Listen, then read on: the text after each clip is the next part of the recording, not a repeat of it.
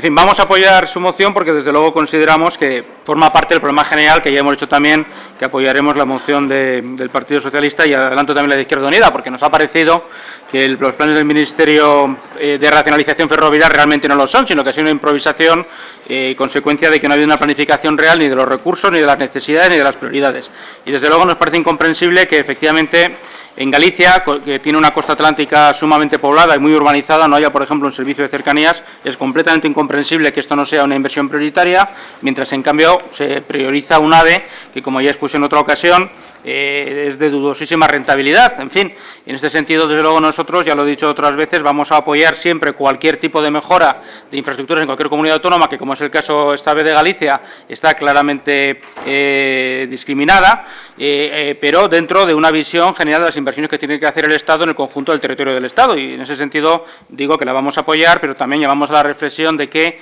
es difícil en estas cosas a veces estar en y repicando, es decir, pedir por una parte que se haga una inversión tan cara y tan poco rentable con altísima probabilidad, como va a ser el AVE, porque el precio que se paga por este tipo de, peticiones es esto. Es decir, el que se abandonen inversiones menos espectaculares, pero mucho más necesarias para la calidad de vida de la gente y para la, la gestión y la articulación del territorio. Muchas gracias.